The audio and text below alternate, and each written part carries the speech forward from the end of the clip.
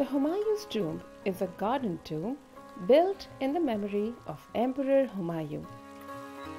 Declared a UNESCO World Heritage Site in 1993, this monument is located in Nizamuddin, Delhi.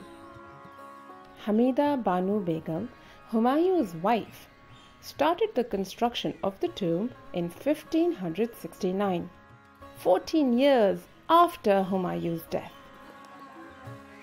The Humayun's tomb stands tall at a height of 47 meters and a width of 91 meters.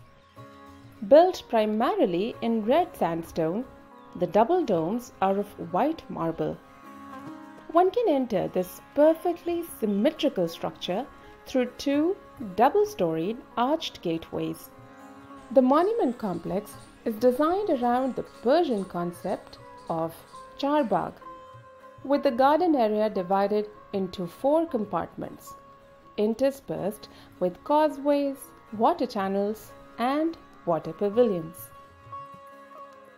The use of decorative chhatris, lattice work, and pietra dura floors indicate Indo Islamic influences embodied in Mughal architecture. The tomb sits on a high and wide terraced platform, making easily visible on city's skyline. Historically, this was actually used as the burial ground of over 150 royal descendants. Humayun's cenotaph stands alone in the main basement.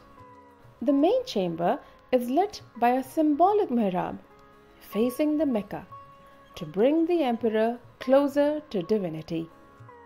Humayun's tomb symbolizes the legendary architectural style of Mughal India. We must do our best to maintain this truly magnificent monument for future generations.